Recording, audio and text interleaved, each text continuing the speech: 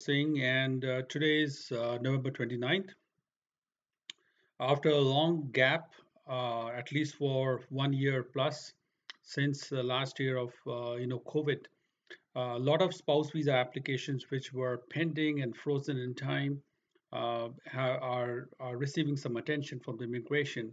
Uh, I've got at least four inquiries and clients who have got a recent interview request on their pending cases and they are getting a letter like what I'm showing on the screen. They are being called for interview to assess their eligibility under the genuineness of the relation to spouse uh, heading. So they want to find out whether your uh, relationship is genuine according to them or not. Uh, one of the problem in this interview is that you do not know what is being asked of you.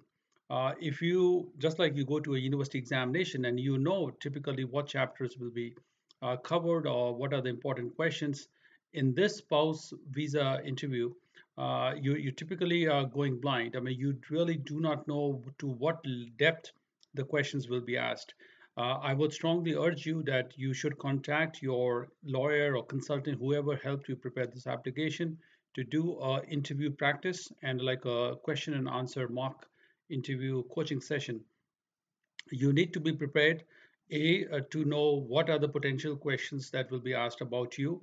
Uh, number two, you need to also rehearse and and finalize your your answers uh, so that you are not surprised uh, at the, at that end moment. Uh, the the section 40 which is mentioned in this letter is worrisome because if they do not find your relationship genuine according to them which is regulation 4 then they will not only refuse you but also uh, you know charge you likely charge you for five year ban which is disastrous for you and also for your spouse uh, who is in Canada. So prepare well, uh, do some coaching, do some rehearsal and practice, and then uh, go to the uh, interview. If you are facing your own interview and if you have no idea, no clue on what to do, uh, you are you are welcome to send me a line. Uh, we've had some success in the past, and many of the, our previous students who were coached for the interview now they are in Canada.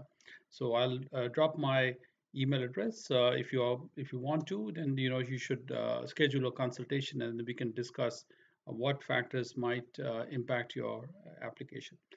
take care and have a nice day. Bye bye.